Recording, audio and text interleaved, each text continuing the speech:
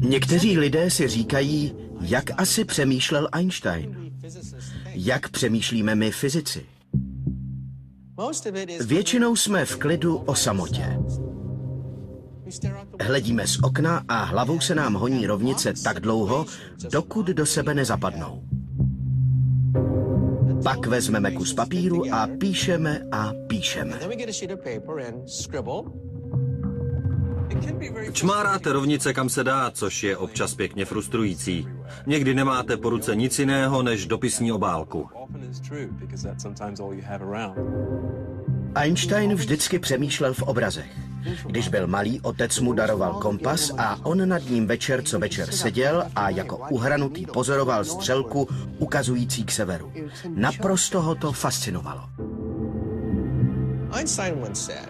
Jednou Einstein prohlásil, chci matematicky vyjádřit boží myšlení.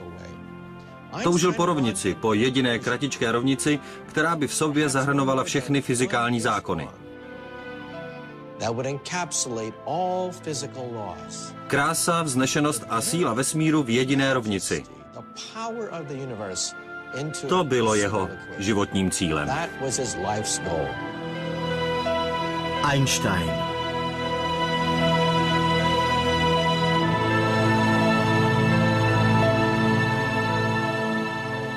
V roce 1900 studuje 21-letý Albert Einstein na švýcarském polytechnickém institutu. Nikoho z jeho profesorů by ani ve snu nenapadlo, že se tento mladík jednou stane synonymem génia. Chodíval za školu. Profesoři ho považovali za lejdáka. Kvůli tomu pak Einstein po ukončení školy nemohl sehnat žádnou práci. Uvažoval dokonce, že se stane pojišťovákem. Umíte si představit, že otevřete dveře a před vámi stojí Albert Einstein a nabízí vám pojistku? To by byla strašná ztráta. Einstein sám se považoval za smolaře. V dopise rodičům dokonce napsal, že by snad bylo lepší, kdyby se vůbec nenarodil. Mladý Albert Einstein byl neznámou figurou. Pracoval jako suplující učitel na krátkodobý úvazek po různých městech. Jeho otec psal jeho jménem žádosti o nějaké místo na univerzitě. Napsal například jednomu velmi známému profesorovi a prosil ho, zda by se Einstein nemohl stát jeho vědeckým asistentem. Nikde však nebylo volné místo. Albertův otec umírá v představě, že jeho syn je ostudou celé rodiny. V roce 1902 se sklíčený Albert stěhuje do Bernu, hlavního města Švýcarska, a zahajuje kariéru nahony vzdálenou vědě. Jeden přítel mu sehnal místo obyčejného technického úředníka na švýcarském patentovém úřadě. V kanceláři ve třetím poschodí tráví Einstein šest dní v týdnu zkoumáním žádostí o patent, které předkládají vynálezci všeho druhu. Měl za úkol provést podrobnou analýzu každého patentu. Díky tomu si velice vytříbil své znalosti fyziky. Brzy přihlášky procházel bez většího přemýšlení. Byla to pro něj lehká práce, intelektuálně nepříliš náročná. Díky tomu měl spoustu času zabývat se svými úvahami nad zákony vesmíru. Na univerzitě by se mu nikdy tak nedařilo, neuměl podlézat. Bylo mu lépe, když seděl v úřadu a představoval si, jaké by bylo cestovat na světelném paprsku. Toto zaměstnání mu umožnilo zahájit revoluci, která obrátí světové dějiny novým směrem. Einsteinovo denní snění od základu změní naše chápání vesmíru. V roce 1905, dnes nazývaném Einsteinův zázračný rok, sepsal a vydal čtyři vizionářská vědecká pojednání. První z nich odpovídá na prastarou otázku, co je světlo. Fotoelektrický efekt. Tento článek z pera tehdy naprosto neznámého autora dokazuje, že světlo je proudem částic zvaných fotony. V praxi je dnes využit například v televizi nebo v laseru. V dalším článku dokazuje 26-letý Einstein něco, co dnes pokládáme za samozřejmost. Existenci atomu. V té době se na atomy nevěřilo. On však dokázal, že atomy způsobují pohyb drobných částic prachu v kapalině. A spočítal dokonce i jejich velikost. Už jen tyto články by znamenaly slibnou kariéru pro každého fyzika.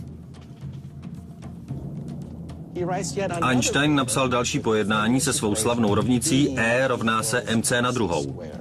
To znamená, že energie se může změnit v hmotu a hmota v energii. I ta nejdrobnější částečka hmoty v sobě potenciálně skrývá obrovské množství energie. K jejímu uvolnění je třeba jaderné reakce, takové, jaká se nepřetržitě odehrává na noční obloze. Už od dob, kdy lidstvo poprvé zvedlo hlavu k obloze, se ptalo, proč svítí hvězdy. Ale teprve Albert Einstein tuto otázku zodpověděl. Hmota M se mění v energii E. To je ta síla, která rozsvěcí hvězdy. Dnes je E rovná se mc na druhou Einsteinovou nejslavnější rovnicí. Ovšem další teorie, kterou zveřejňuje téhož roku, je ještě významnější a zároveň ještě kontroverznější. Je to speciální teorie relativity. Už během dospívání si Einstein představoval, jaké by to bylo cestovat na paprsku světla. Nyní se ke svému snu vrací a to změní jeho život. Na jaře 1905 jel autobusem a z okna pohlédl na slavnou věž s hodinami, která je dominantou Bernu. A začal si představovat, co by se stalo, kdyby se autobus řítil téměř rychlostí světla.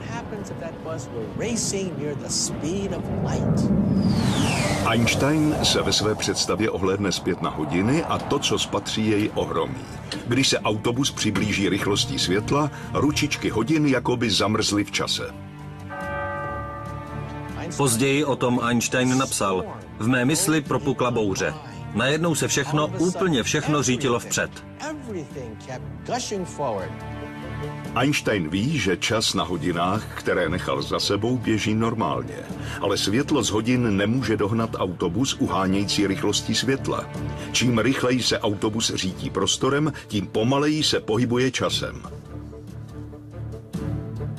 Toto nahlédnutí do podstaty věci se stalo základem Einsteinovy speciální teorie relativity, podle níž jsou prostor a čas vzájemně hluboce propojeny. Ve skutečnosti jsou jedno a totéž. Je to flexibilní struktura zvaná časoprostor. Při jízdě městským autobusem tak Einstein zahlédl tajemství vesmíru. Před Einsteinem si vědci představovali vesmír jako prostor, ve kterém se nic neděje.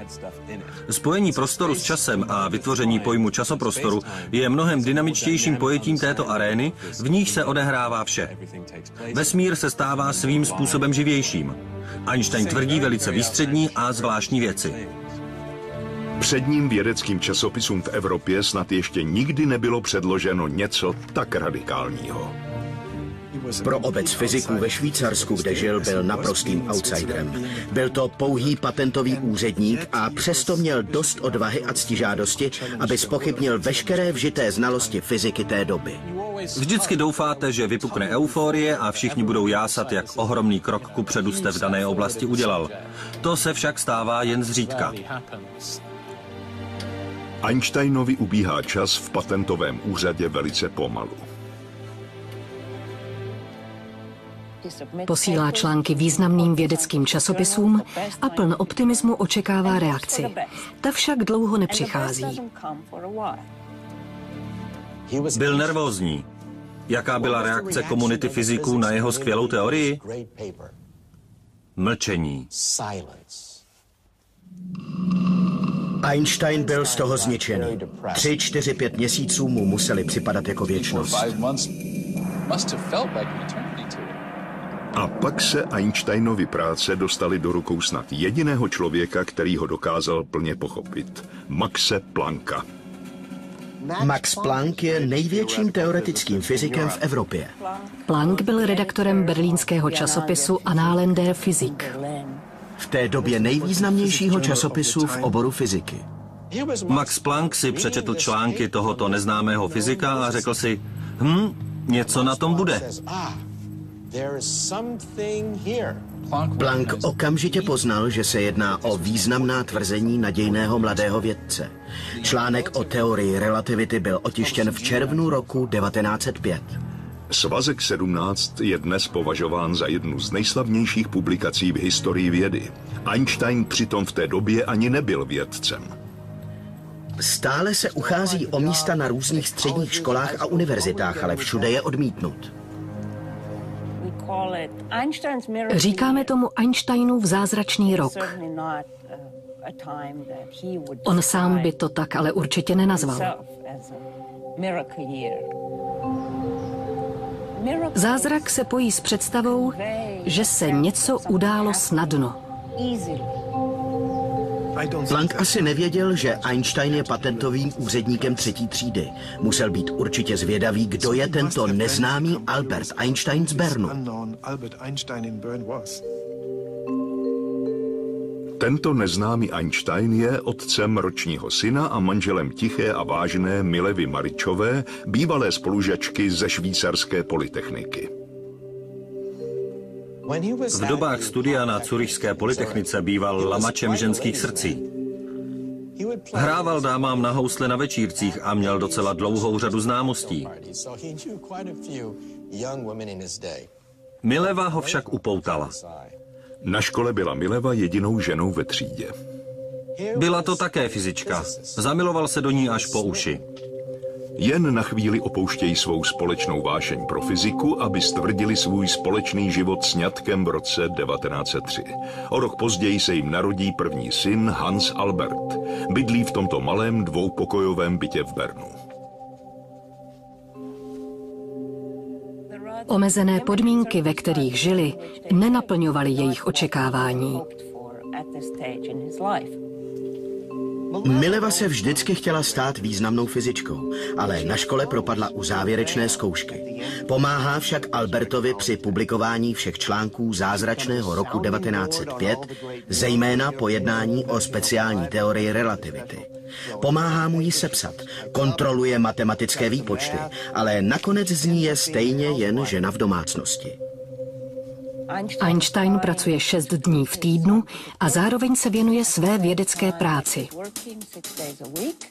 V roce 1907 Einstein hodlá napsat nový článek vysvětlující speciální teorii relativity, ale uvědomí si, že je značně omezená. Speciální teorie relativity se nazývá speciální proto, že je omezena pouze na případ pohybu při konstantní rychlosti. Jinými slovy, Einsteinova speciální teorie relativity se dá aplikovat jen v určitém případě. A sice, když se předmět pohybuje stálou rychlostí jedním směrem. Einstein však chce pochopit opravdový svět a ten takto nefunguje. Einstein si uvědomil, že nevzal v úvahu zrychlení. Všechno ve světě zrychluje. Auto na hrbolaté silnici, letadlo, metro, všude všechno zrychluje. Ve speciální teorii relativity tedy byla mezera. Pokud se rychlost onoho imaginárního autobusu změní, pak Einsteinova teorie o chování předmětů v čase a prostoru přestává platit. Jeho vědecká mysl však chce, aby teorie platila za všech okolností. Einstein ví, že aby jeho teorie fungovala, musí se dát aplikovat na všechno ve vesmíru, včetně té neviditelné síly, která drží vesmír pohromadě. Gravitace. Ta je všude.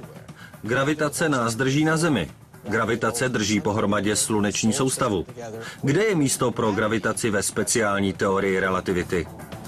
Einstein chce svou speciální teorii relativity rozšířit a formulovat obecnou teorii relativity. Teorii, která by nevysvětlovala pouze čas, ale také gravitaci.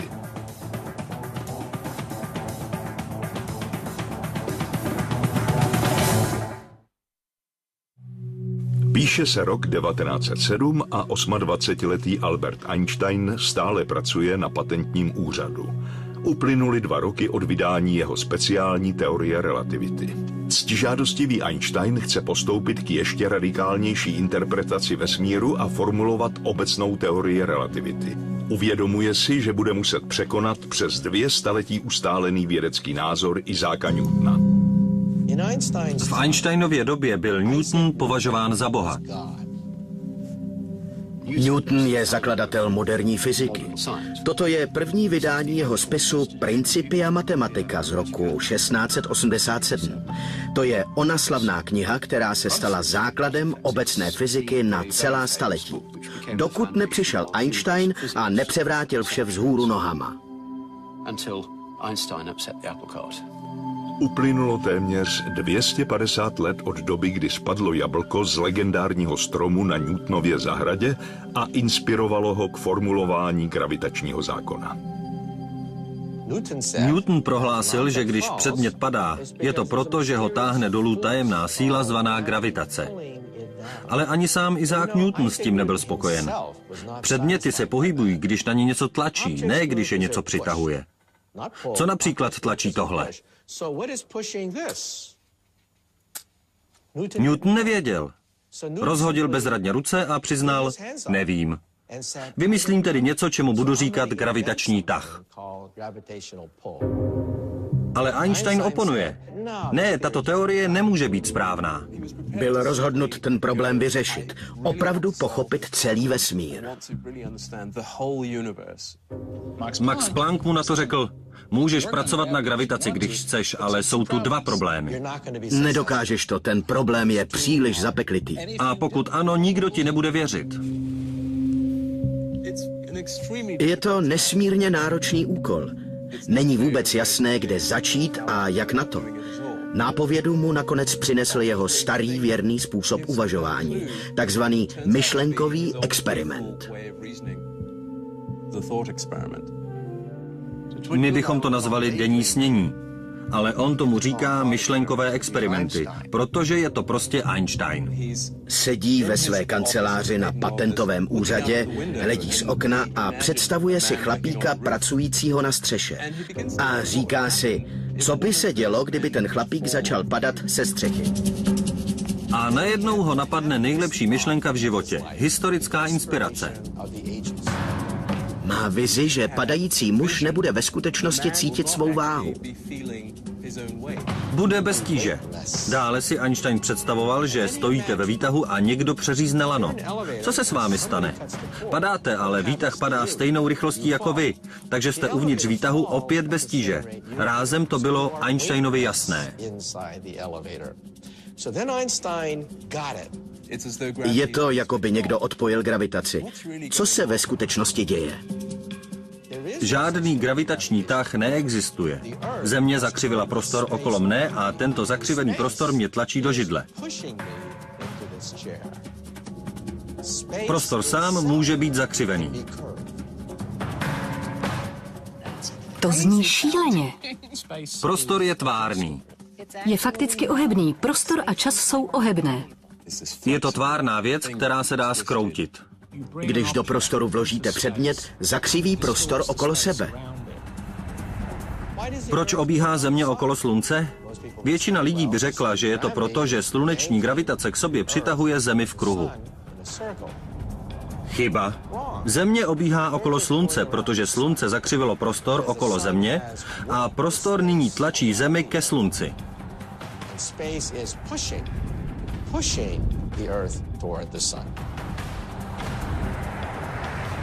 Einstein přišel s novou teorií gravitace, novou teorií vesmíru.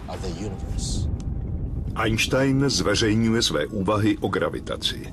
Ve stejné době mu přináší zvýšenou pozornost jeho pojednání o atomech. Nakonec v roce 1911 dostává nabídku vědeckého místa na plný úvazek na Německé univerzitě v Praze. 32-letý patentový úředník konečně opouští Bern a stává se poprvé v životě profesorem Albertem Einsteinem. Vědci si začínají uvědomovat, že Einstein může mít pravdu. Dostává pozvání na Solvejovy konference, což jsou setkání nejvýznamnějších fyziků z celé Evropy. Na konferencích svolávaných belgickým filantropem Ernestem Solvejem diskutují největší vědecké osobnosti z Evropy a Albert Einstein je mezi nimi. Mezi profesory je tu nejmladší.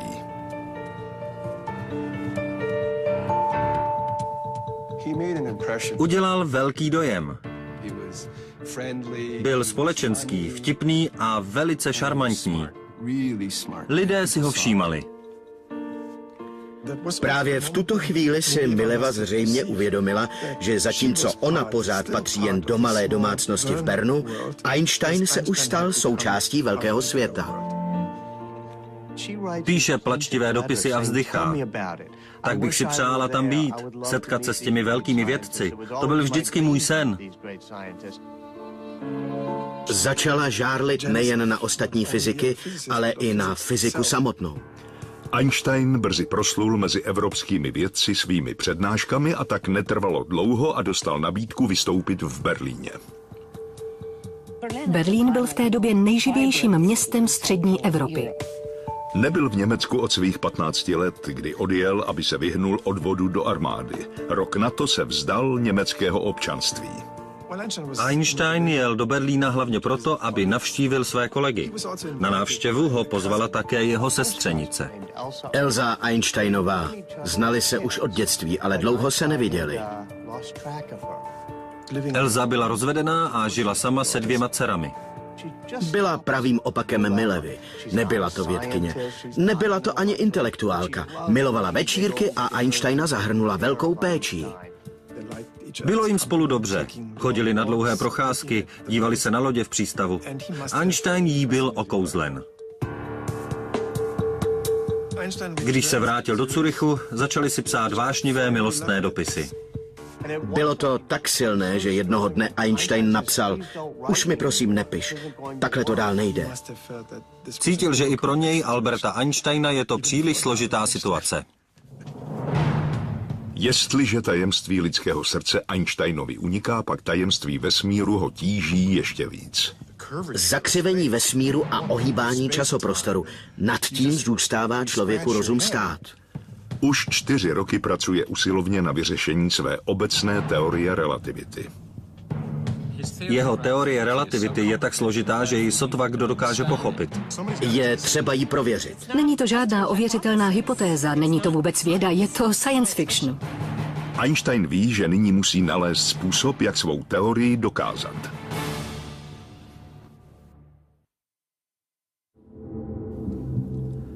Píše se rok 1911. Einstein už čtyři roky usilovně pracuje na definici své obecné teorie relativity. Jeho teorie však nebude přijata, dokud svou radikální myšlenku nějak neprokáže. Najednou dostane nápad. Pokud bude procházet světelný paprsek místem, kde je prostor zakřivený, pak se i tento paprsek zakřiví. Světlo zná pouze přímky. Prostor je však zakřivený. Co může mít takovou gravitaci, aby ohnulo světelný paprsek? Co například slunce? Slunce je dokonalým objektem pro jeho experiment. Má 300 tisíckrát větší hmotnost než Země. Jak ale může někdo namířit světelný paprsek tak, aby procházel kolem Slunce? Podle Einsteina se vlivem gravitačního pole Slunce zakřiví světlo pocházející ze vzdálené hvězdy. Protože prostor okolo Slunce je zakřivený.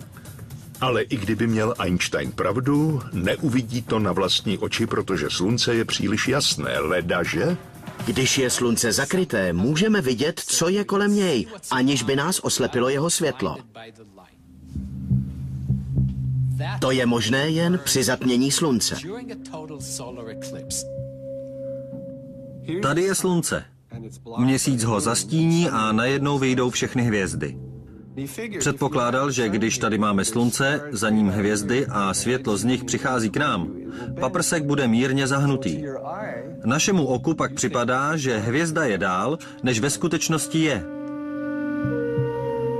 Paprsek procházející okolo slunce. To je něco, čemu by rozuměla i jeho matka. Nikdo ale nebyl ochoten teorii uznat, dokud ji někdo neprokáže tím, že úkaz vyfotografuje. Na koho se tedy obrátíte? Na astronomy, astrofyziky. Naší laboratoří je celý vesmír. V roce 1912 je Einstein přesvědčen, že mu k dokázání jeho převratné teorie chybí už jen krůček. Zveřejňuje své revoluční myšlenky a spolu s nimi i výzvu pro astronomy. Jděte a měřte. Vydejte se za zatměním slunce a proveďte pozorování. Nestalo se však nic. Rozeslal osobní dopisy proslulým astronomům té doby, aby získal jejich zájem a byl poněkud zklamaný, když zjistil, že astronomové jsou zaneprázdnění lidé, kteří všeho nenechají jen, aby vás uspokojili. Ani Einsteina ne. Je to hořké zklamání. Nakonec se však na jeho výzvu ozve mladý asistent z berlínské observatoře. Je to nadšený a smělý mladík, který je pro Einsteina ochoten dojít doslova na kraj světa. Jmenuje se Erwin Finley Freundlich. Freundlichovi bylo něco přes 20 a toužil se proslavit. Vycítil, že se mu naskytla příležitost. Bylo to něco nového, něco významného a on se na tom mohl podílet. Viděl jsem dopis, který poslal Einstein zpátky Freundlichovi. Je plný nadšení. Vy astronomové mi můžete velice pomoci v dokazování teorie relativity. Máme před sebou Einsteina ne jako vědce, ale jako obyčejného člověka, který se snaží někoho přimět, aby pro něho něco udělal, protože ho potřebuje. Dozvídá se, že se Freundlich chystá oženit se svou snoubenkou Katy a že plánuje svatební cestu do Alp. A tak ho Einstein hned láká. Zajďte do Curychu a setkáme se. Freundlich je na svatební cestě a jede se setkat s Einsteinem. Vyhlíží ho z okna. Tamhle je. Rozpozná ho snadno, protože má na hlavě svůj obvyklý slaměný klobouk a vyčnívá zdavu jako maják. To je ten slavný Einstein, se kterým si dopisuje. Jeho velká příležitost. Za chvíli se s ním má setkat. Vyskočí z vlaku a potřásá si s ním rukou. Oba jsou potěšeni. Nakonec vyzvednou novomanželům věci z vlaku a vezou je do nedalekého Frauenfeldu. Je to malé městečko. Ke svému velkému úžasu tráví novomanželé své líbánky v posluchárně, kde má Einstein přednášku. Uprostřed přednášky najednou Einstein řekne, potřebujeme provést důkaz se zatměním slunce a člověk, který to rozhodne, sedí mezi námi. Jmenuje se Erwin Freundlich, tamhle je. Uznání, kterého se mu na tak velkém schromáždění dostalo, ho pochopitelně povzbudilo. Cestou do Curychu Einstein s Freundlichem vášnivě diskutují o gravitaci, zatímco novomanželka Katy pozoruje oknem ubíhající krajinu. Začínají spřádat plány o cestě za úplným zatměním slunce. Problém je, že úplné sluneční zatmění lze pozorovat jen na určitém místě na Zemi, protože stín měsíce je široký jen několik kilometrů.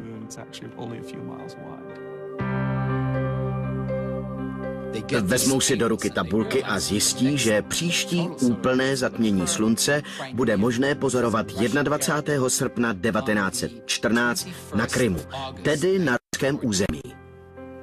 Freundlich jde za svým nadřízeným a žádá ho, aby mu povolil vydat se do Ruska. Spolupracují s Einsteinem, dáte mi peníze? A šéf na to v žádném případě. Prostě odmítne. Einstein je z toho nepříčetný. Freundlich se pak obrací mimo Evropu, píše řediteli Likovy observatoře u San Jose v Kalifornii, těžko dostupné výspy americké astronomie. Byla to komunita žijící na vrcholu hory. Astronomové tam žili i se svými rodinami. Měli tam ženy a děti. Jejich přežití záviselo na vzájemné spolupráci. Dlouhou dobu tu měli největší refrakční teleskop na světě. Co je však ještě důležitější, žije zde William Wallace Campbell, průkopník ve fotografování slunečního zatmění. V 19. století astronomové zatmění slunce pouze pozorovali. Viděl jsem tohle a já zase tohle. A pak to zakreslili. Pokud se lišili, bylo to slovo jednoho proti druhému. Příchod fotografie umožnil zachytit, co se právě děje a provést přesná měření. Počátkem 20.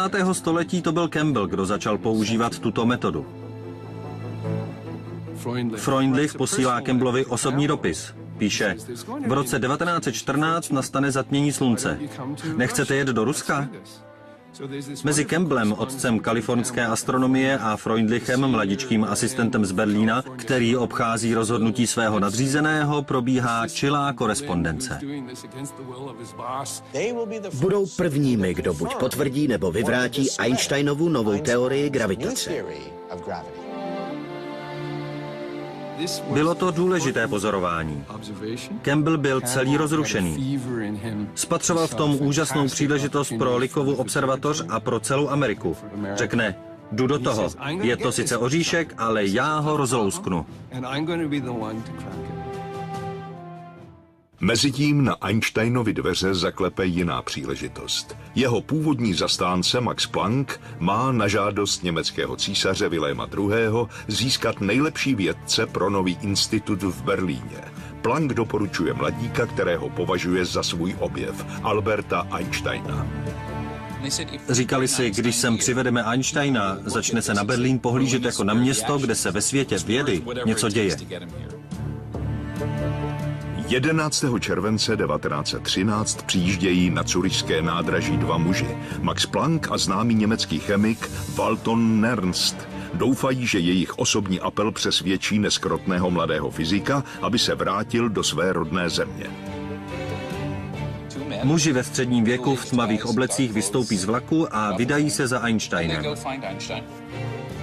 Jsou velmi odlišní. Max Planck je po pruském způsobu velice spořádaný, vždy řádně oblečený a upravený, s monoklem na oku. A proti němu stojí Einstein, který si odmítá česat vlasy a nosí různé podivné staré šatstvo, jak se mu zlíbí nenosí už dokonce ani ponožky. Planck s Nernstem mu předloží velkorysou nabídku. Stane se profesorem na Berlínské univerzitě, bude členem Pruské akademie věd, nebude ani muset učit, dostane se mu veškeré podpory k vědecké práci. Stál tu Max Planck, stál tu Walton Nernst, stála tu Pruská akademie věd. Stála tu celá obec fyziků a říkala, chceme vás. Einstein neodpověděl. Navrhl jim, nechcete si na zbytek odpoledne udělat výlet do hor? A řekl, až se vrátíte, budu na vás čekat na nádraží a v ruce budu držet květiny. Pokud budou červené, jedu do Německa. Pokud budou bílé, znamená to, promiňte, ale nejedu, děkuji, že jste se obtěžovali. Jsem přesvědčen, že Einstein odložil svou odpověď částečně proto, že si chtěl na chvíli užít pocit, že ho tak strašně chtějí. Je ale pravda, že to nebylo snadné rozhodování. Einstein se vydává na dlouhou procházku, jak ostatně činí vždy, když potřebuje vyřešit nějaký větší problém. V Curychu se žilo příjemně. Měl to tam rád. Nebylo snadné všechno jen tak opustit. Jeho žena chce zůstat v Curychu. Na druhou stranu mu ale nabídli tu nejlepší možnou práci. A pak tu bylo ještě něco, co Einstein natáhlo do Berlína. Jednou dostal přání k narozeninám. Bylo od Elzy. Určitě to v něm probudilo všechny staré city.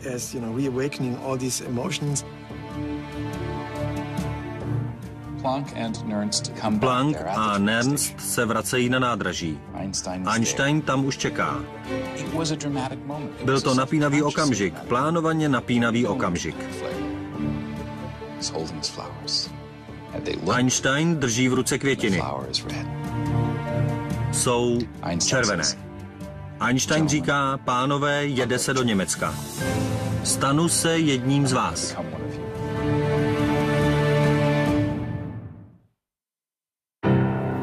V dubnu roku 1914 vypadá Einsteinův svět jasněji.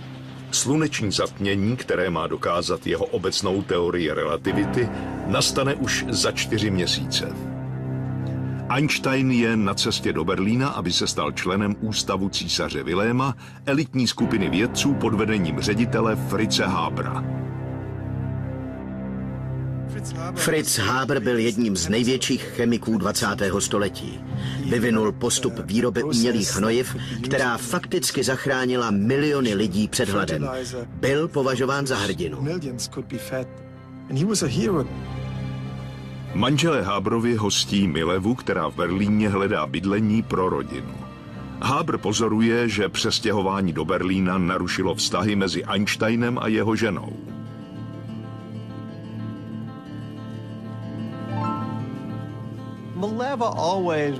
Mileva byla vždycky velmi zahloubaná a poněkud melancholická žena. A v Berlíně se to ještě zhoršilo. Einstein flirtuje se svou sestřenicí Elzou. Protože je to však velmi upřímný muž, řekne Milevě o Elze. Pak teprve se mezi nimi rozhoří spory. Není překvapivé, že muž, který přistupuje nekonvenčním způsobem k celému vesmíru, má stejně netradiční postoj i k manželství. Einstein dá Milevě ultimátum a předloží jí smlouvu, ve které píše Pokud chceš zachovat manželství, musíš dodržovat následující. Nosit mi jídlo do pracovny. Mluvit se mnou jen když já chci mluvit. Neočekávat ode mě žádné intimnosti. Mileva s něčím takovým nesouhlasí a dohodu nepodepíše.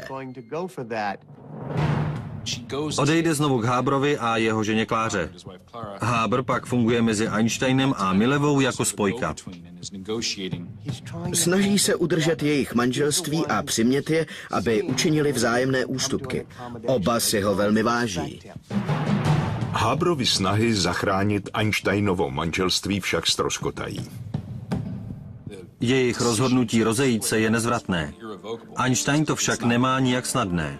Nemá peníze, aby mohl udržovat dvě domácnosti a tak Milevě předloží odvážný a sebevědomý návrh. Nabídne jí obchod. Jednou získám Nobelovu cenu, řekne. Když se se mnou rozvedeš, dám ti peníze, které za cenu obdržím. Znamenalo to obrovskou sumu peněz. Mileva by mohla být velmi bohatá a přestěhovat se s dětmi zpátky do Curychu. Einstein si je jist, že Nobelovu cenu dostane. Mileva si tak jistá není. Je to vědkyně. Dokáže si spočítat, jaké má Einstein šance. Nakonec se poradí s Hábrem a rozhodne se sásku přijmout a odjet. Oba malé chlapce bere sebou. Einstein spolu s Hábrem jí doprovázejí. Einstein musí jít na nádraží rozloučit se se syny. Oči má plné slz. Háber ho nikdy předtím plakat neviděl. Byl to pro něj krušný okamžik a Háber tam byl jako přítel s ním, aby ho podržel. Einstein vsadil na zisk Nobelovy ceny budoucnost svých dětí. Pro něj to však byla jistota. Potřebuje jen fotografie úplného slunečního zatmění od Ervina Freundlicha a Williama Campbella, aby se přesvědčil o zakřivení světla. Nedlouho předtím, než šel doprovodit Milevu s chlapci, měl na berlínském nádraží jiné loučení. Freundlich se svými dvěma kolegy odjíždí z Berlína. Einstein je doprovází. Je celý netrpělivý. Freundlich bere na dlouhou a náročnou cestu čtyři astronomické fotoaparáty a další složité zařízení. Celou cestu až na Krym musí jet vlakem. Freundlich s Campbellem chtějí zvýšit své šance na dobré počasí a proto se ubytují na dvou různých místech. Freundlichův tým si vybere jihovýchodní Krym, Campbell zaujme pozici nedaleko Kijeva. I přes zvěsti o blížící se válce jsou oba plni odhodlání. Pak však dojde k nejhoršímu. 28. července 1914 je při atentátu v Sarajevu zastřelen arcivévoda rakouský František Ferdinand d'Este. Německý císař vyhlašuje válku Rusku a Einsteinova expedice za zatměním slunce se rázem ocitá v ohrožení. Einstein si dělá velké starosti. Nemůže je ale nijak varovat. Nevěděli, co bude. A potom uprostřed hlubokých krymských lesů vstoupí válka i do tábora vědců.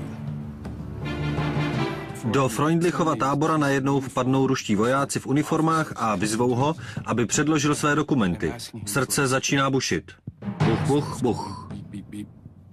Rusové se přišli podívat, co se to tam děje a narazili na Němce s teleskopem. Začnou mu jeho zařízení rozebírat. Nesahejte na mé přístroje, musím tady pozorovat zatmění slunce. Teď to patří nám, vaše země proti nám vyhlásila válku. Na místě ho zatknou. Na nic se neptají. Považují je za špiony. Z Freundlicha je rázem válečný zajatec. Campbell naproti tomu je Američan, je tedy neutrální a Rusové mu dovolí pokračovat v pozorování zatmění.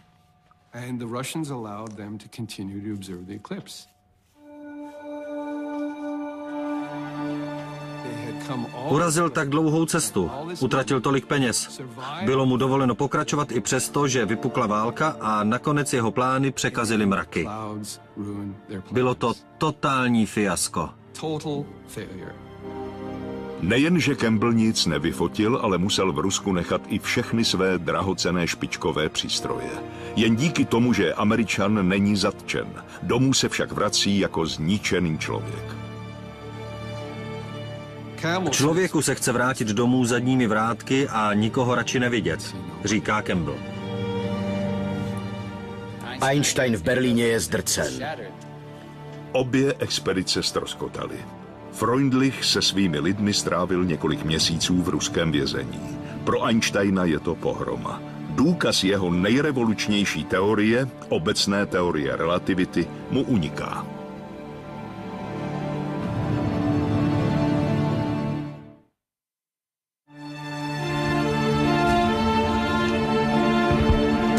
Vzplanutí první světové války překazilo Einsteinovu ruskou expedici za zatměním slunce a hrozí, že válka bude kýžený důkaz teorie relativity, za kterým se Einstein lopotil mnoho let, mařit i nadále. Válka přerušila spojení mezi vědci z různých zemí. Otevřená výměna názorů byla přes noc pryč. Kontakty byly přerušeny. Když do války vstoupí i Spojené státy, začne astronom William Campbell vnímat věci jinak. Campbell se věnoval problému slunečního zatmění nezávisle na svém bývalém kolegovi z Německa, kterého nyní považoval za nepřítele. V Berlíně se naprosto změnila atmosféra.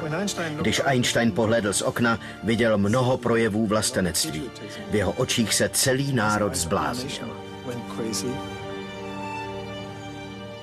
Všechny Einsteinovy představy o městě, ve kterém chtěl žít, vzali za své. Byli pryč. Ulicemi nadšeně pochodovali statisíce německých mladíků. I jeho nejbližší kolegové Planck a Haber horlili pro válku. Jeho nejbližší přítel Fritz Haber byl stejně jako on německý žid. Haber konvertoval ke křesťanství a snažil se asimilovat, jak jen bylo možné. Jednou z věcí, na které byl nejvíce hrdý, byla hodnost důstojníka německé armády, což byla pro konvertovaného žida neslíchaná podsta. Einsteinovi to bylo k smíchu. Haber prohlásil, jsem chemik, znám velmi dobře složení atomu chloru. Vím, že plyný chlor je jedovatý. Dokážu jej proměnit v účinnou zbraň. Haber byl přesvědčen, že dokáže vyrobit zbraň tak ničivou, že válka velmi rychle skončí. Ústav se pod Haberovým vedením změnil v laboratoř vyvíjející plyn, který měl být použit na západní frontě. Einstein má v Haberově institutu pracovnu. Einstein byl znechucen horlivostí, s jakou Haber vynikal mezi svými kolegy, ačkoliv i mnoho z nich se hodně snažilo, když hledal způsob, jak co nejefektivněji zabíjet. Haber jako první vyvinul ničivé zbraně s pomocí vědy. V raném stádiu války je Haberova nová tajemná zbraň, jedovatý plyn, vyzkoušena na bitevním poli v Belgii.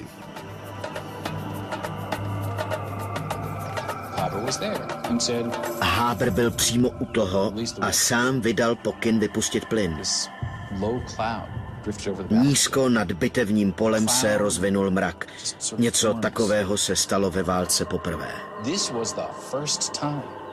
Vojáci už zažili věci, které vypadaly mnohem nebezpečněji než tento mrak. Ale jeho účinek byl ničivý. Vojáky to v zákopech doslova vyvraždilo. Haber spatřil na vlastní oči umírat tisíce lidí. Bylo to asi pět tisíc vojáků. Plíce se vám začnou plnit tekutinou a tělo začne selhávat. Ležíte na suché zemi a fakticky se topíte. Albert Einstein svého důvěrného přítele a blízkého kolegu nechápe. Jsi chorý, tohle je šílené. V dopise jednomu příteli ve Švýcarsku píše Všechen náš domělý vědecko-technický pokrok je jako sekira v rukou šílence. Hábr proti tomu nic nenamítal. Je zvláštní, že byli s Einsteinem tak blízkými přáteli. Každý žil na jiné planetě. Válka znamenala pro Einsteina velké dilema, protože v osobní rovině měl ke svým kolegům úctu a měl je rád, ale z celého srdce se mu příčilo jejich zapálení pro válku. Dostane se mu do rukou veřejně vychvalovaný dokument zvaný Manifest 93, který podepsalo 93 předních německých akademiků, včetně těch, kteří ho přivedli do Berlína a kterých si nejvíce cenil. Fritze Hábra a Maxe Plancka. Manifest prohlašuje, Německo muselo začít bojovat. Je oprávněné a morálně přijatelné bojovat v této válce. Manifest Einsteina šokoval. V jeho očích to byla zrada. Právě v tomto okamžiku si Einstein uvědomil, že v životě existují věci, které stojí mimo fyziku a které jsou natolik důležité, aby vylezl z ulity a podstoupil osobní nebezpečí, aby tyto věci bránil. Podílí se na sepsání proti manifestu, v němž jiní němečtí akademikové říkají válce ne. Vedle národní hrdosti, národní soutěživosti, národního fanatismu existuje i něco jiného, píšou. Tento manifest však podepsali jen čtyři lidé. Nakonec nebyl ani otištěn a upadl do zapomnění. Einstein se stává pacifistou, odpůrcem války. A je téměř osamocen.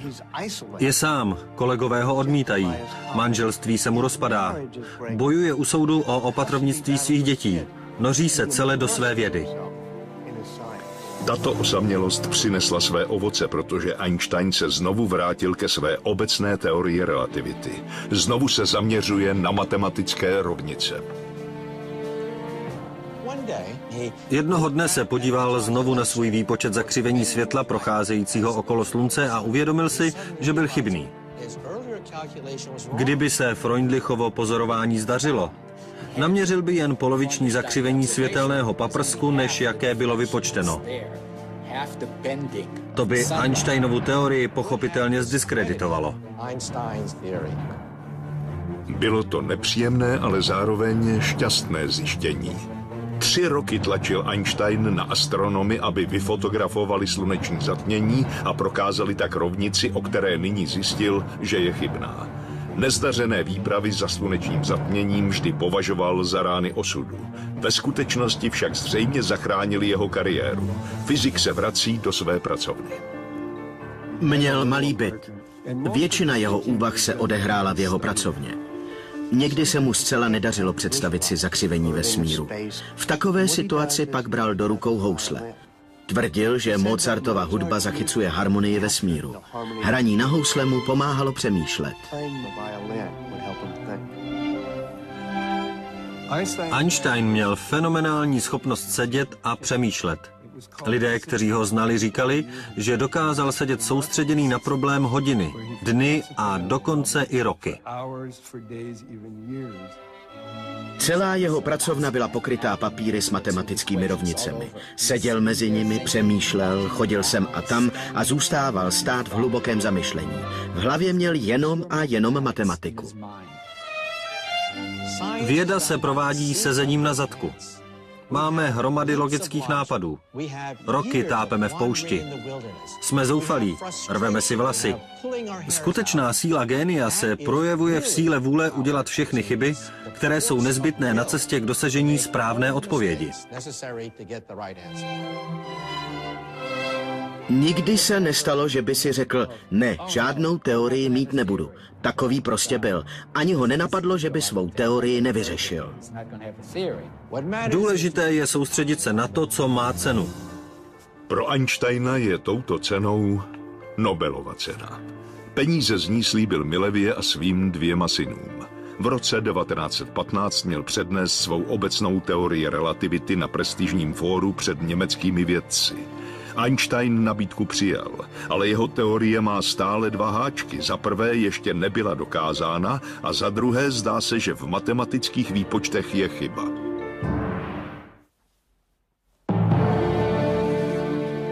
Po téměř celém desetiletí usilovné dřiny hrozí Einsteinovi blamáž.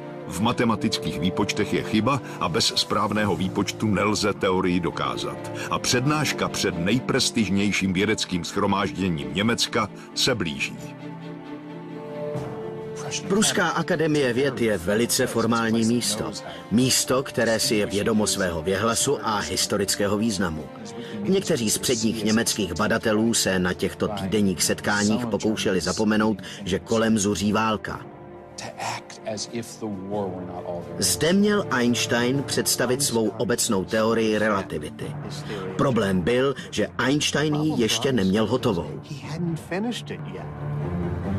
Je podzim roku 1915 a Einstein nemyslí téměř na nic jiného. Je zcela pohroužen do řešení hádanky, která ho zaměstnává déle než 8 let. Snaží se přijít na řešení rovnic, které vyjadřují zakřivení vesmíru. Pracuje dlouho do noci.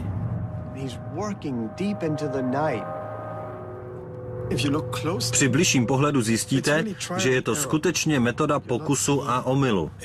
Nemáte před sebou matematika, který píše dokonalé rovnice rovnou na papír. Najednou třeba všechno smaže a prohlásí, to je nesmysl. Hovoří s matematikou. Někdy otočí sešit na druhou stranu a pak ho znechuceně odhodí. Ten pocit, když řešení, na které myslíte, nechce fungovat, je strašlivý. Přímo vám zžírá vnitřnosti. Einstein od chvíle, kdy objevil svou matematickou chybu, udělal ve výpočtech velký pokrok. Přijímá pozvání promluvit na univerzitě v Göttingenu. Je to generálka na přednášku v Pruské akademii. Einstein stojí u tabule, zapisuje své rovnice a snaží se osvětlit celý problém. Mezi posluchači je jeden z největších matematiků všech dob, David Hilbert.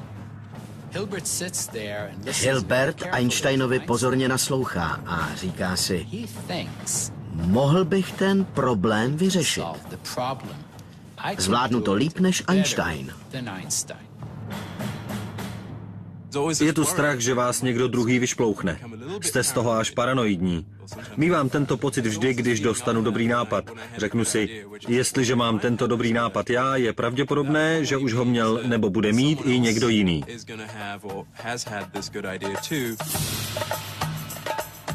Einstein se vrací do Berlína a Hilbert do své pracovny. Hilbert sedí, přemýšlí a snaží se předběhnout Einsteina v honbě za velkou cenou za teorii relativity. Byl to jeden z největších matematiků své doby. Je to boj mezi dvěma velikány, velikánem fyziky a velikánem matematiky. Hilbert, ten pacholek, který si myslí, že dokáže porazit Einsteina, se pouští do práce. Je přesvědčen, že fyzika je příliš významná významná, než aby byla ponechána jen fyzikům. Laťka je velmi vysoko. Odhalit tajemství světla, odhalit tajemství gravitace. Buď všechno nebo nic.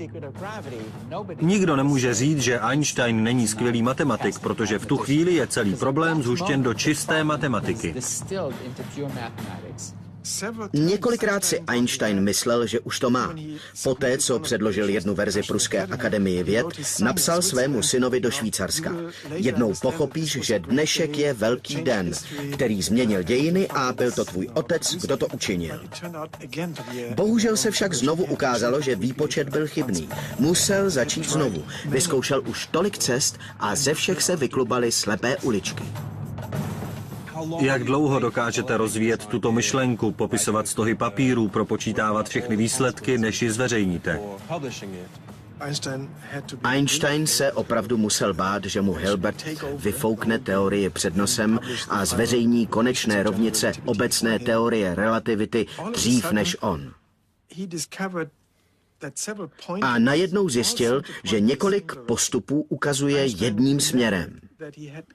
Vzpomněl si na jedno velice radikální řešení, na které přišel už v roce 1912.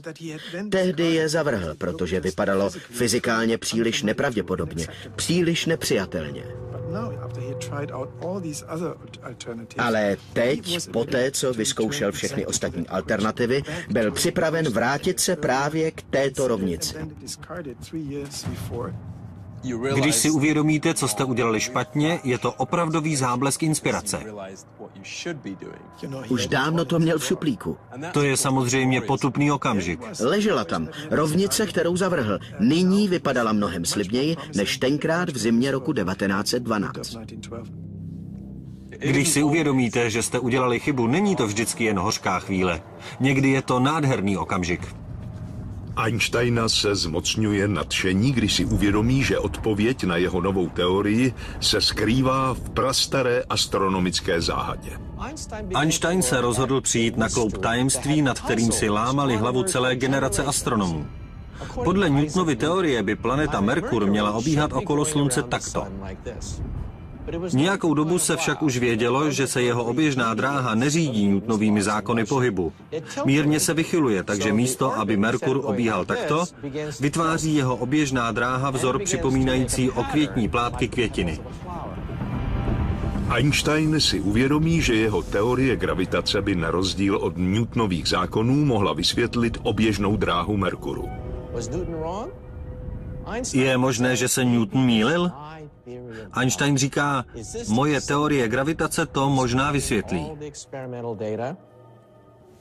Pracně vypočítal přesnou dráhu Merkuru a jeho výpočty se se skutečnou dráhou dokonale shodovaly. Jeho rovnice se na papíře shodovaly s pohybem tělesa ve vesmíru. Srdce se mu rozbušilo, když si uvědomil, bože, má teorie je správná. Naplnila ho taková radost, že se už nemohl dál soustředit. Je to pro něj ohromný úspěch. Má rovnice vyřešené zhruba ve stejné době jako David Hilbert. Rozhoří se spor, kdo rovnice vyřešil jako první. V tu chvíli mezi nimi byla velká nevraživost. Einstein je zdrcen. Hilbert se však zachová gentlemansky. Prohlásí, je to Einsteinova teorie. Jemu patří sláva. Einstein vyhrál. Teorie je Einsteinova. 25. listopadu 1915 třímá vítězný Einstein v rukou konečnou rovnici své obecné teorie relativity. Má ji právě včas, aby ji mohl představit před Pruskou akademií věd.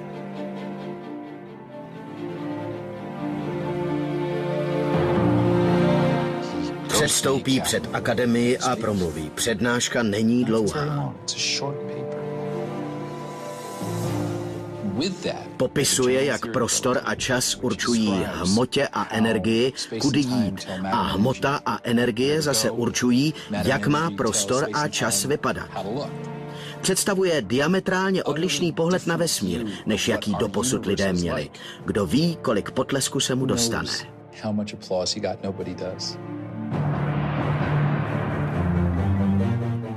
Všichni pojednou stanuli tváří v tvář nové myšlence, kterou tento podivný německý žid svrhl Newtonovi gravitační zákony.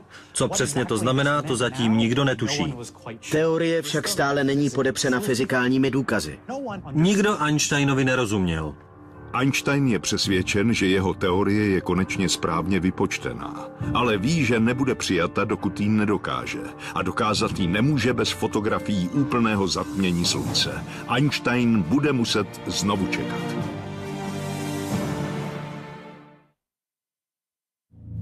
V roce 1916 vydává svou obecnou teorii relativity s opravenými výpočty. Pro fyzikální důkaz však potřebuje fotografie úplného slunečního zatmění. K tomu však nedochází příliš často. Navíc ve válkou sužovaném Berlíně je v době britské blokády těžko sehnat i jen základní potřeby k životu. Z Berlína se stalo chudé město.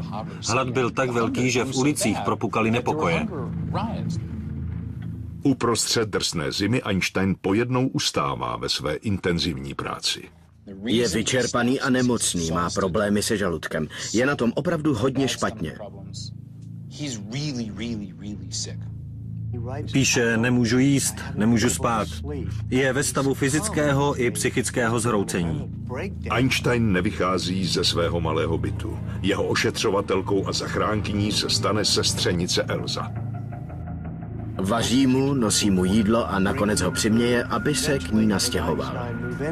Zatímco Einsteinovo zdraví leží v rukou Elzy, osud jeho teorie spočívá v rukou astronomů. Významnou roli mezi nimi sehraje Arthur Eddington z Cambridgeské univerzity. Je vědec, ale zároveň i hluboce věřící člověk, který navštěvuje schromáždění Quakerů v tomto domě naproti univerzitě. V zadní lavici této kvejkerské modlitebny plné lidí tiše sedí Arthur Stanley Eddington, ředitel Cambridgeské observatoře, jeden z předních světových astrofyziků. Válka dolehla na Eddingtona a ostatní Quakery obzvláště těžce, protože byli proti válce a odmítali narukovat proti Německu. Z celého schromáždění zbyl nakonec Eddington. Jen on a ženy. Ostatní muži mizeli jeden po druhém z lavic. Ne však proto, že by odcházeli do války, ale proto, že byli zatčeni jako odpírači vojenské služby. Protiněmecká nálada ochromila komunikaci mezi vědci. Eddington se tak dovídá o Einsteinově nové teorii až v únoru 1916, kdy obdrží balíček od kolegy z neutrálního Holandska, astronoma Willema de Sitra. Uvnitř je kopie Einsteinovy přednášky, kterou de Sitter přeložil do angličtiny. Hned jak do ní Eddington nahlédne, uvědomí si, že před ním leží věc nesmírného vědeckého významu. Odepíše Desitrovi a prosí ho, aby mu řekl více o tomto Einsteinovi, protože v Anglii dosud nikdo nic neví. A Desitr odpoví. Einstein je proti válce a sepsal dokonce protiválečný manifest. Eddington se zaraduje. To je perfektní. Jedná se o velmi důležitou věc. Musíme s tím něco udělat.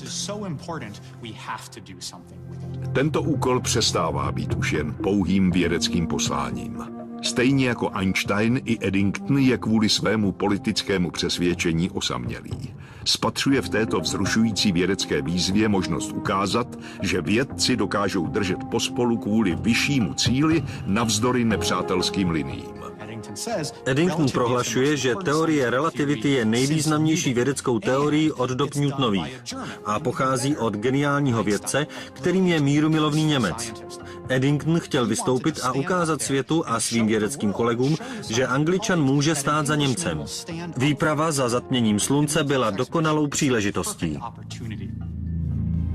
Příštímu úplnému zatmění má dojít v červnu 1918. Bohužel však ne v Anglii, kterou Eddington kvůli válce nemůže opustit. Bude však pozorovatelné v Americe ve státě Washington. A to prakticky na dvorku muže, který v tomto případě už jednou figuroval. Williama Wallise Campbella z Likovy observatoře v Kalifornii.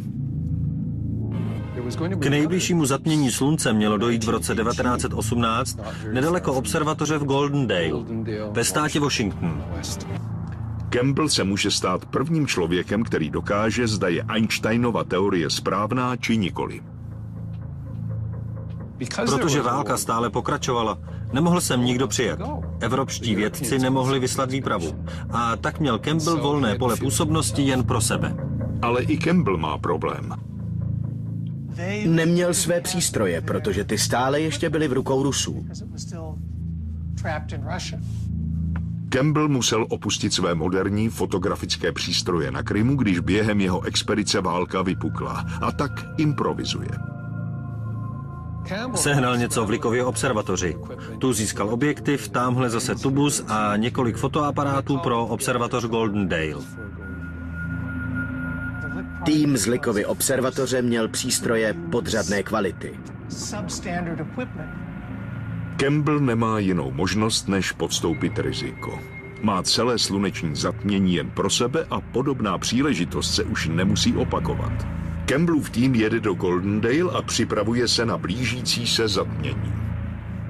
Bylo to nedaleko jeho bydliště, takže se na místo vydala celá rodina. Campbellovým cílem je vyfotografovat hvězdy, které se objeví na krátkou chvilku, kdy bude slunce zastíněno měsícem. Ale v sobotu 8. června 1918 to vypadá, že vesmír se opět rozhodl svá tajemství nevydat. Oblohu zakryly mraky. Vypadalo to, že opět neuvidí nic a bude se opakovat Rusko. A najednou, přesně v tu chvíli, kdy potřebovali jasnou oblohu, se mraky rozestoupily. Campbell začíná fotit. Nejdřív se měsíc jen dotkne slunce a pak pozvolna zakrývá jeho tvář. Slunce se zmenšuje a zmenšuje až do posledního okamžiku, kdy jeho světlo prozáří údolí mezi pohořími na povrchu měsíce. Pak ještě jeden jasný ostrý záblesk a nakonec je slunce zcela zastíněno. Je to ta nejčernější čerň, jakou jste kdy viděli. Když jsem pozorovala sluneční zatmění poprvé, málem jsem ztratila dech. Je to jako když skočíte do ledové vody. Nemůžete tomu uvěřit. Doslova vám to bere dech. Je to nádherný pohled. Byl to zatím nejsilnější zážitek mého života. Reporter New York Times napsal článek s titulkem Mraky se rozestoupily kvůli zatmění.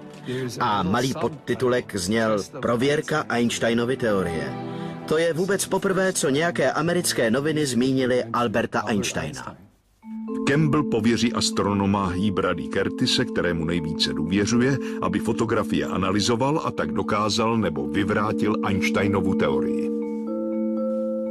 Na fotografické desce byla určena jedna z hvězd, které měly být změřeny. Tato hvězda byla velice pečlivě umístěna na střed nitkového kříže okuláru. Poté byly zapsány souřadnice v obou směrech a hvězdě byla přiřazena velice přesná pozice. Na základě těchto čísel se dalo posoudit, zda to vypadá, jako by hvězda změnila postavení. Einstein tvrdil, že zakřivený prostor okolo Slunce vytvoří optickou iluzi, takže se bude zdát, jako by se hvězdy posunuly mírně stranou.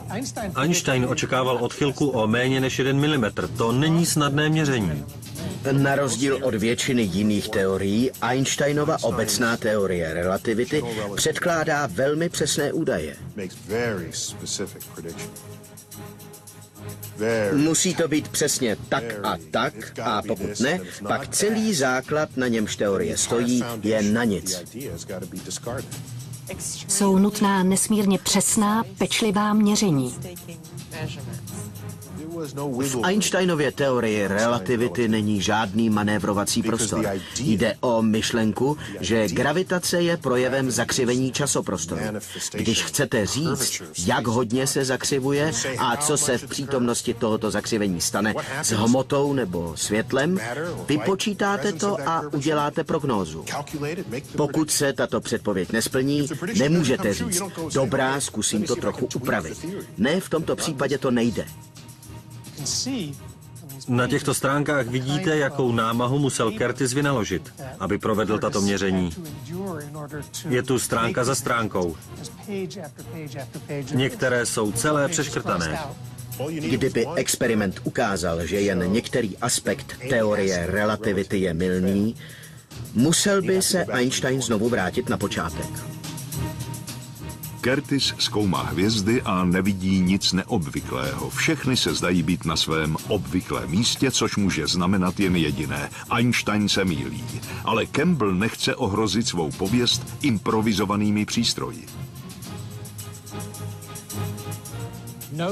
Nikdo nechce dát konečnou odpověď, dokud všechno nebude prověřeno dvakrát. Nejlepší taktikou je mlčet, dokud si nejste absolutně jistí tím, co jste zjistili. Campbell dal Curtisovi pokyn ještě jednou projít všechny výsledky. Zatímco Curtis pracuje v klidu sám na Hamiltonově hoře, Evropou zmítá chaos.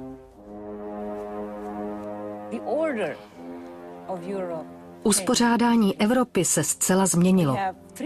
Tři říše se zhroutily jedna po druhé během několika týdnů. 9. listopadu 1918 se německý císař Wilhelm vzdává trůnu.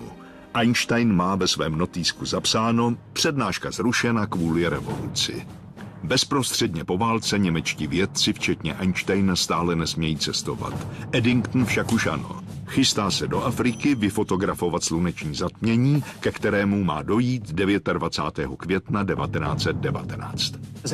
Když Eddington vyráží z Cambridge, univerzitní chodby jsou plné berel a holí. Mnozí studenti jsou zraněni a zmrzačeni. Jeho odjezd nedoprovázejí žádné fanfáry. Odjíždí téměř sám. Eddington v Einsteina věří a doufá, že přiveze zpátky důkaz jeho kontroverzní teorie. V Kalifornii se však zatím astronom William Campbell chystá zveřejnit své výsledky. Tato zpráva vypadá v tuto chvíli hrozivě. Důkaz Einsteinovy teorie nyní visí na vahách mezi dvěma frontami, dvěma kontinenty. Je jaro roku 1919. Kdo bude mít pravdu? Astronom William Wallace Campbell v Kalifornii stále znovu zkoumá fotografické desky, které naznačují, že Einsteinova obecná teorie relativity, nová teorie gravitace, je chybná. Proti němu stojí britský astronom Arthur Eddington, který je na cestě, aby vyfotografoval sluneční zatmění v Africe. Eddington vyráží z Británie směrem na jih. Je mu už téměř 40. Cestování v těch dnech nebylo příliš pohodlné. Uprostřed léta jede do tropů. To není zrovna nejpříjemnější místo. V květnu 1919, po deseti týdnech strávených na moři, dorazí Eddington se svým asistentem na Princův ostrov u pobřeží západní Afriky. Řádí zde malárie, žijí tu jedovatí hadi. Eddington si musí prosekávat cestu džunglí. Celý měsíc pak staví uprostřed džungle teleskop. Když však nadejde den zatmění, spustí se déšť. Eddington je zdrcen. Bylo to strašné zklamání. Pak se však najednou otevře okno v oblacích a vykoukne temný měsíc. Eddington musí okamžitě spustit zařízení. Zrcadlo se začne otáčet a on pak musí vložit fotografickou desku do spodní části teleskopu. Fotoaparát musí být přesně spojen s teleskopem. Vše musí být pečlivě nastaveno. Vytáhni, podej další desku, vloži tam, vytáhni, pořizuje jeden snímek za druhým. Jedete šíleným tempem, ale víte, že je třeba zachovat chladnou hlavu. Může se stát, že zapomenete sundat víčko objektivu, nebo že nenastavíte správnou expozici, nebo uděláte jinou zásadní chybu, která navždy zmaří vaší kariéru. Čas se krátí, vzácné sekundy rychle ubíhají. Eddington se neohlíží na to, že obloha potemňuje. Vyhlíží hvězdu, která je těsně vedle slunce. Vyměňuje fotografické desky tak rychle, že fotí jen pouhou vírou. Nezbývalo mu než věřit, že se na snímcích něco ukáže. Podobně jako Kembla před ním, i Eddingtona čeká hořké zklamání. Brzy zjistil, že většina desek je bezcená. Na všech fotografiích jsou téměř všechny hvězdy zastřeny mraky. Jen na několika posledních deskách je několik hvězd, které v něm probudily naději, že alespoň něco naměří. Představte si Eddingtona, tohoto distinguovaného teoretika, jak sedí uprostřed vzdáleného ostrova s mikrometrem v ruce a zkoumá fotografické desky. Jeho disciplína je obdivuhodná. Provést tato měření je nesmírně obtížné. Žijeme pod vrstvou atmosféry, která fakticky rozmaže, skroutí a rozostří světlo přicházející ze vzdálených končin vesmíru. Místo jasného paprsku pak vidíme na Zemi jen šmouhu. Brzy bylo zřejmé, že to bude mnohem těžší práce, než se zdálo. Provádějí tato přesná měření uprostřed džungle. Nemůže se dočkat, až bude zpátky v Anglii, bude to však trvat měsíce.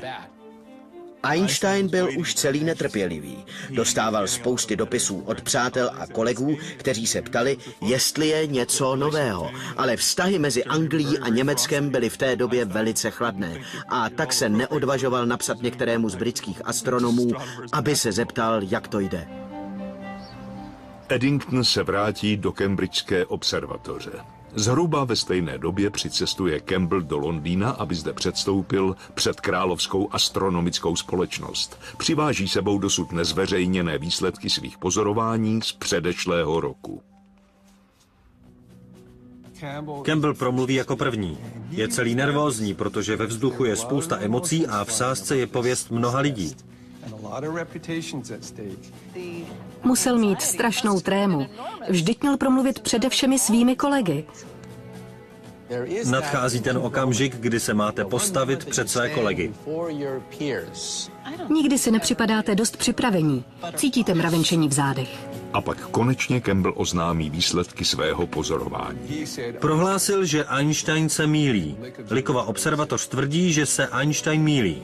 Průběh schromáždění však nabere dramatický obrat, když přijde telegram od Eddingtona. Jeho předběžné výsledky naznačují pravý opak. Britové byli nakloněni Einsteinovi. Eddington však měl před sebou ještě řadu výpočtů, které měly trvat několik měsíců. A teď na tomto mimořádném zasedání Královské astronomické společnosti Campbell především prohlašuje, že se Einstein mílí. Britové namítají, ještě to nevíme jistě, ale je možné, že se nemílí. Campbell se ocitá v nepříjemné situaci pošle urgentní zprávu kolegům do Ameriky, kteří se právě chystají zveřejnit své záporné stanovisko. Byl to historický telegram o několika slovech. Odložte zveřejnění výsledků. Campbell.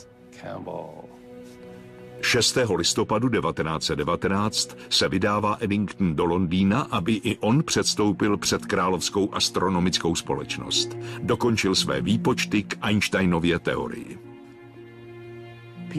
Sjíždějí se sem lidé z celé Evropy. Všichni se sem tlačí, aby se dozvěděli výsledek. Ze zdi na ně schlíží Newtonův portrét. Kdyby Newton viděl toto schromáždění, myslím, že by byl naprosto ohromen. Eddington zahájí pohledem na portrét zakladatele královské společnosti a řekne, promiňte si, i zákon Newton, váš vesmír byl převrácen vzhůru nohama. I přes potíže se podařilo pořídit několik cených fotografií.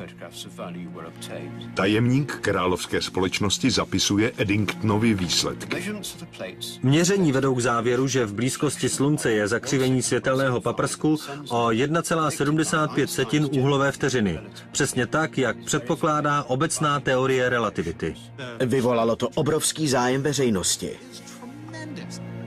Mimo vědeckou komunitu o Einsteinovi nikdo ani neslyšel, natož o jeho bizarních teoriích. A teď se veřejnost dovídá, že všechno, co si o vesmíru doposud mysleli, je jinak. Britský deník Times píše, že je to zcela nová teorie světa. Představy, kterých jsme se drželi stovky let, jsou mylné. A tento člověk, německý vědec Albert Einstein, nám dal novou pravdu. New York Times přináší titulek. Vědci celý skoprnělí nad slunečním zatměním. Einsteinova teorie vítězí. Teprve potom začíná o těchto novinkách informovat i německý tisk. Jeden berlínský časopis ho představil v romantickém světle s jeho dramaticky rozevlátými, nyní už prošedivělými vlasy a zasněným pohledem v očích. A na obálce časopisu stálo Nová osobnost světových dějin. Ačkoliv jen málo kdo opravdu rozuměl Einsteinovým myšlenkám, jeho jméno brzy znal každý. Pojmenovali po něm značku piva. Matky dávali svým dětem jeho jméno. Einstein sám netušil, že jeho nesrozumitelná teorie gravitace jednou takto probudí představivost veřejnosti. Einstein říká, že se novináři zbláznili. Všichni chtějí článek, chtějí přednášky, chtějí fotografie. Celé to je šílenství. Fotografie v té době začínala zažívat rozkvět. Zprávy putují pod mořskými kabely. V kinech se promítají filmové týdeníky. Můžete ho v nich vidět, jak chodí a mluví. Bez této svobody by nebyl žádný Shakespeare, žádný Goethe, žádný Newton, žádný Faraday, žádný Pasteur a žádný Lister.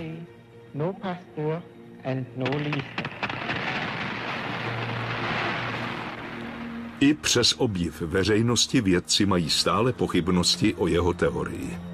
Je chyba plést si Einsteinovu slávu s přijetím jeho teorie. Mezi těmito dvěma skutečnostmi není ani zdaleka rovnítko. Nastala zpětná reakce. V New York Times se stále dokola ptali, kdo je tento slavný vědec. Většina Britů a Američanů, většina lidí ze spojeneckých zemí cítila vůči Německu i po válce nepřátelství. Neměli zájem o usmíření. A tak hodně lidí tvrdilo, Eddingtona vede zájem o mír a mezinárodní bratrství. Tolik si přeje, aby teorie byla pravdivá, že začal být mírně předpojatý. Kritizovali ho za údajné sfalšování výsledků. Odlišné výsledky z obou expedic za slunečním zatměním způsobily rozkol. Bylo nutné vyslat ještě jednu. Jak Einstein, který se snažil dokázat svou teorii od chvíle, kdy ji v roce 1907 poprvé předložil, tak Campbell, který na problému pracoval od roku 1911, měli o výsledky obrovský osobní zájem. Už nešlo jen o vědu, ale o mezinárodní pověst. Byla to otázka osobní reputace. Bylo to osobní. Nejbližší zatmění vhodné k fotografování bude pozorovatelné v Austrálii v roce 1922, tedy až za dva roky.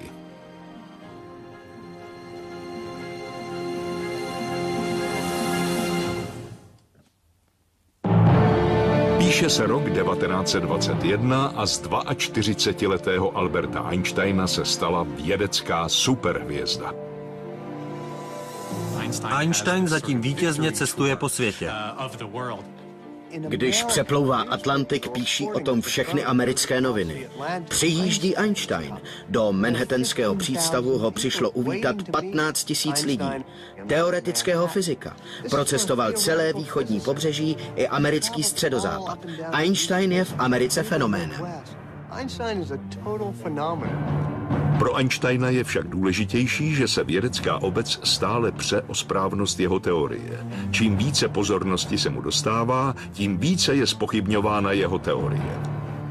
Einstein je vystaven rostoucí kritice své obecné teorie relativity. Řeklo se, musíme zopakovat měření. V září 1922 bude úplné zatmění slunce v Austrálii. Pro Williama Volise Campbella je to příležitost udělat jednou provždy jasno. Chystá se přestavět své přístroje. Kompletně je kvůli plánovanému měření předělal. Zmodernizovaný přístroj byl jako Cadillac mezi auty. Místo vhodné k pozorování slunečního zatmění se nacházelo v nejzápadnější části Austrálie, na 90 Mile Beach. Tentokrát však Campbell nebyl jediný. Do Austrálie vyrazilo hned sedm expedic. Britové vyslali tým. Vlastní expedici měl také Freundlich, pro něhož to byla první příležitost od fiaska v Rusku. Byl tu také britský astronom John Evershed, který přijel z Indie. Expedici vyslali i Kanaďané. A pak tu byly dvě australské expedice. Ty všechny představovaly pro Kembla vážnou konkurenci. Britové a Freundlich byli vytlačeni. Australané zase nic nenaměřili, protože jim nefungoval přístroj. Chudák Evershed měl sice krásně čistou oblohu, ale i on měl technické potíže, takže nic nenaměřil. Campbell, který byl už na své třetí expedici, byl mnohem lépe připraven. Získal perfektní výsledky.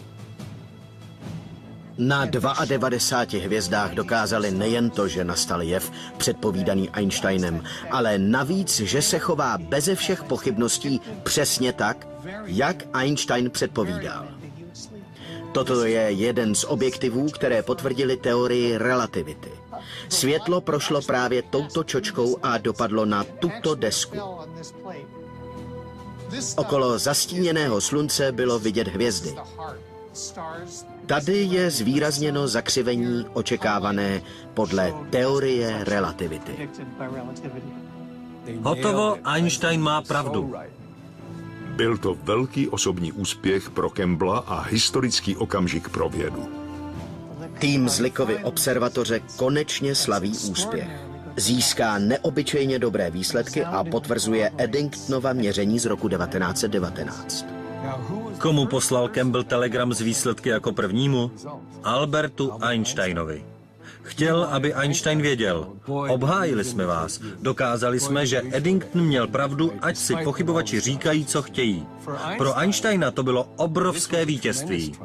Expedice za slunečním zatměním nám poskytly úžasný důkaz něčeho, co vypadá pouze teoreticky a přitom je to součást našich životů. Je to důkaz, že časoprostor okolo Slunce je zakřivený. Je to zcela nový pohled na fungování gravitace. Je to zvláštní.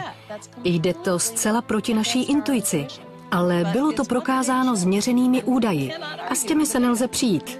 Příroda to potvrzuje. Ano, Einsteine, je to krásná teorie a je pravdivá.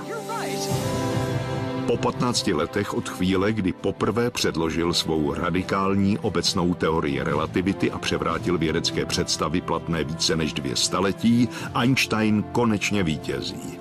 Téměř. Nobelův výbor odmítl Einsteina už v roce 1919, pak znovu v roce 1920 a opět v roce 2021. Jeho teorii relativity prostě nedokázali přijmout.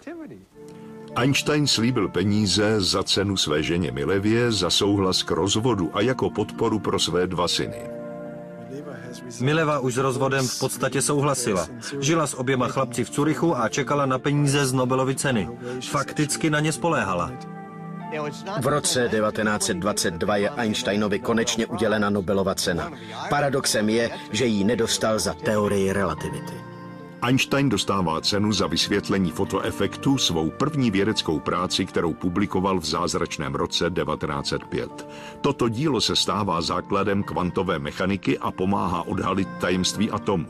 Pro Einsteinovu ženu Milevu znamená cena něco trochu přízemnějšího. Za peníze koupí v Curychu tři činžovní domy. Mileva na těchto investicích příliš nevydělala, ale k živobytí jí to stačilo. Pro Einsteinovu sestřenici Elzu, která trpělivě čekala celá léta, to bylo svým způsobem také vítězství. Přesvědčila Einsteina, aby si ji vzal. Bylo to ale zvláštní manželství. Einstein měl i po svatbě řadu milenek. Život v manželství pro něj nikdy nebylo to pravé. Jí se ale líbilo být paní Einsteinovou. Ráda ho doprovázela na cestách. Milovala prestiž a slávu, kterou měla z toho, že je jeho ženou. Svět, který se vzpamatovává ze strašlivé války, oslavuje s nadšením podivínského teoretického fyzika a činí z něj celosvětový idol. Právě skončila nejničivější válka, jakou Evropa pamatovala. Do této situace přichází míru milovný vědec se svou svatozáří z rozčepířených vlasů a pronikavýma očima a lidé na obou stranách Atlantiku, v Německu, v Anglii i v Americe, všude jej oslavují jako muže míru a zároveň jako vědce, jehož myšlenky přesahují hrůzy války. Proto lidé reagovali na jeho úspěch s takovými emocemi. Byl pro ně symbolem. Symbolem toho, čeho lidstvo dokáže dosáhnout uprostřed zkázy, kterou samo způsobilo. Příběh tohoto osamělého vědce, který převrátil svět vzhůru nohama, je opravdu poutavý. Sám ve své pracovně Einstein jen svou myslí a tuškou učinil převratné objevy, které uchvátily pozornost veřejnosti stejně, jako i v dnešní době přitahují populární písně a filmy. Lidé milují tajemství. Sám Einstein to říkal. Přitahují je zajímavá slova jako čtvrtá dimenze, zakřivení časoprostoru a podobně. Světlo se pohybuje způsobem, jaký byste neočekávali. To všechno jsou svým způsobem romantické myšlenky. Jsou to šokující myšlenky, ale lidem se zalíbily. Dokázal vidět věci způsobem jako nikdo jiný. Spojil elementy vesmíru, o kterých jiní ani netušili, že spolu souvisejí. Obecná teorie relativity je jedním z největších úspěchů lidského ducha. Když se nad tím zamyslíte, celou moderní dobu, dobu laserových paprsků, telekomunikací a satelitů, odstartovalo dílo Alberta Einsteina. Černé díry, neutronové hvězdy i samotný velký třesk. Nic z toho bychom nedokázali dost dobře popsat bez Einsteinovy obecné teorie relativity. Je krásná, jednoduchá a hluboká. A takové jsou všechny nejlepší teorie vesmíru. Einstein umírá v roce 1955 ve věku 670 let. I o více než půl století později tento muž a jeho teorie nadále uchvacují a inspirují lidskou představivost. Byl to člověk, který se silou svého intelektu, pouhou silou své mysli, dokázal